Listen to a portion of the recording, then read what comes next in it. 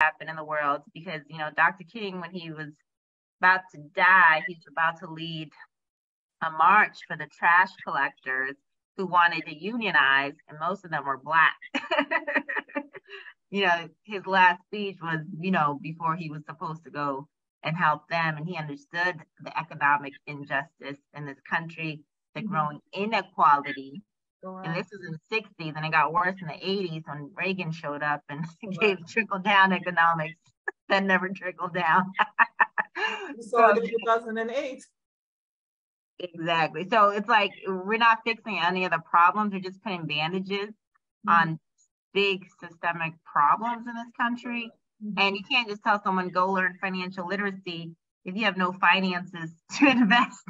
you know, like Dr. King said, why integrate a counter when the people can't afford the food?